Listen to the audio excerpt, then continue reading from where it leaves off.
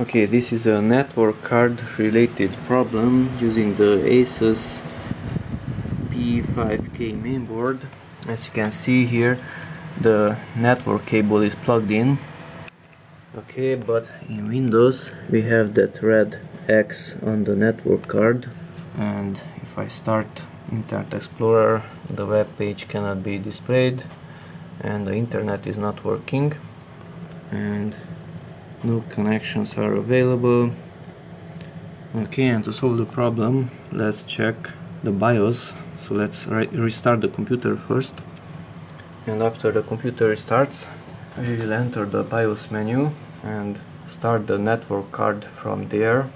And to enter the BIOS press the delete key on the keyboard. Press it now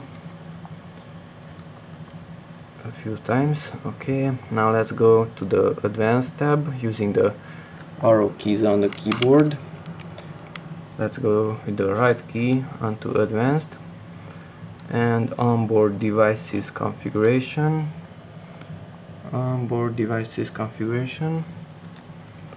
And onboard PCIe gigabyte ethernet local area network that one is set to disabled. So let's press enter on it and put it to enabled. Okay press F10 to exit. BIOS and save the changes. Save configuration and exit. Press enter. And after Windows starts we will check the network card to see if it's working. Okay and after Windows started the network icon is not displaying the red X anymore. It says no network access. Okay but let's wait a little bit. Let's go to Internet Explorer. And voila it's working. And the icon shows internet access. Internet access. Internet access. Okay so it's working. Let's check once more. Google it's working. Okay that's it.